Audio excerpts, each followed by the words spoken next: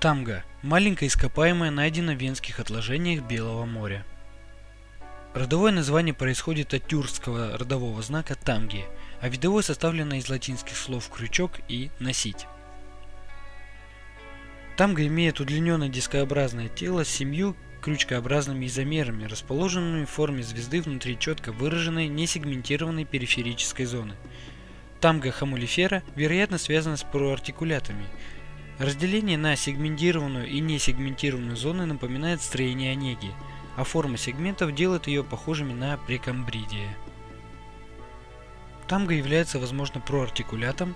В рацион входил сапрофаг и одноклеточные организмы. В длину тамга достигала от 3 до 5 мм и вес оценивается в менее 1,1 грамма. Место находки окаменелостей – Белое море. Время жизни – Вент.